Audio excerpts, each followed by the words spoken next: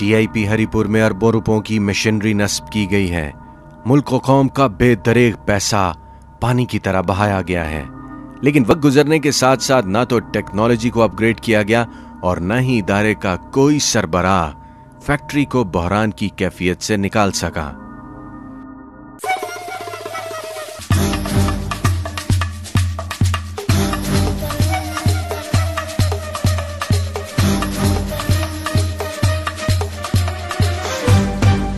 ये बारह करोड़ रुपए की इन्वेस्टमेंट जो असास किस्म के कंपोनेंट है उसको उतारने के लिए और कितनी इन्वेस्टमेंट है इस मशीन की?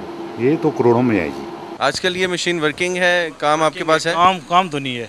अगर एक मोहतात अंदाज़ा लगाएँ तो आपके डिपार्टमेंट के अंदर कितने पैसों की इन्वेस्टमेंट है मशीनरी के? इक्विपमेंट लगा हुआ है दस करोड़ का। सिर्फ़ आपके इस डिपार्टमेंट इस डिपार्टमेंट में। ये है हमारा क्यू डिपार्टमेंट तीन जनरल मैनेजर बना दिए हर इदारे का किसी भी इदारे का एक जनरल एक जनरल एक एडमिनिस्ट्रेटर हो तो वह इदारा ठीक चलता है। लेकिन तीन एडमिनिस्ट्रेटर वो कैसे चलाएँगे इस इदारे को?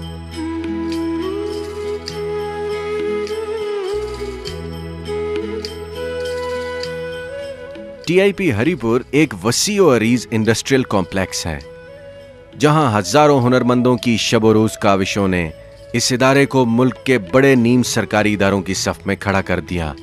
लेकिन वक्त के साथ बदलते हुए हुकूमती अंदाज ने टीआईपी के मुस्तकबिल बारे कुछ नहीं सोचा और आज इदारा समेत अपने कारकुनों के तबाही के दहाने पर खड़ा है। मैं किसकी हाथ पे अपना लहू तलाश करूँ? कि सारे शहर ने पहन रखे हैं दस्ताने? टीआईपी इस वक्त बिल्कुल बहरानों में फंसी हुई है और इसका कोई वाली वारस नहीं है। जी एस ग्रांट है जो हमें मिलना चाहिए उसमें भी हमें बहुत तंग किया जा रहा है। हमारे लोगों को वो नहीं मिलता डेथ क्लेम में भी मस्ती की जाती है।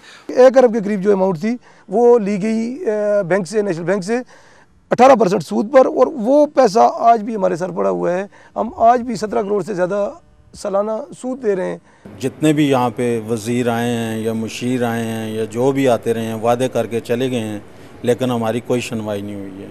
पिछले आठ दस महीनों से मिनिस्ट्रियों के हम चक्कर लगा रहे हैं। हुकूमत के लोगों की तरफ़ जाते हैं तो वो कहते हैं कि ब्यूरोक्रेसी आगे हाइल है जी।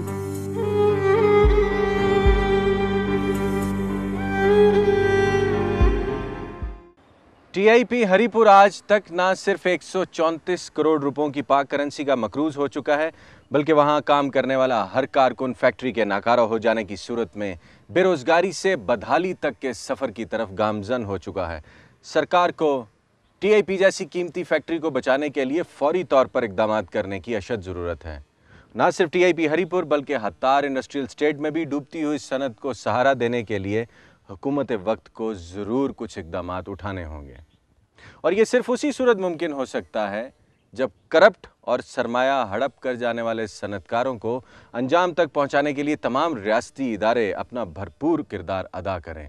नीम सरकारी इदारे हरीपुर और वहाँ काम करने वाले एक हज़ार पाँच सौ मुलाजमीन और उनके अहल खाना की क्या क्या शिकायत हैं? अगर आप हक़ की तलाश में हैं तो सच के सफ़र में मेरे साथ रहिएगा।